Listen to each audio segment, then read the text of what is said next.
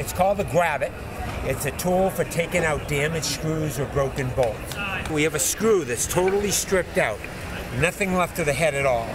We take the Grabit, we chuck it into our drill.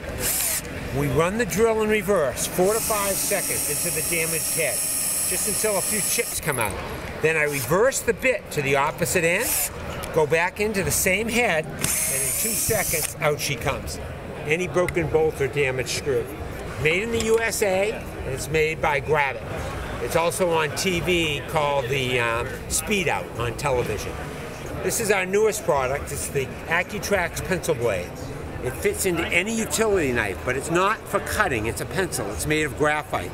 Pop it into your utility knife, and now you have the ability to make a perfect line every time. And that line never changes. It's 25 thousandths today, it's 25 thousandths in eight weeks. It never changes. You never have to sharpen it.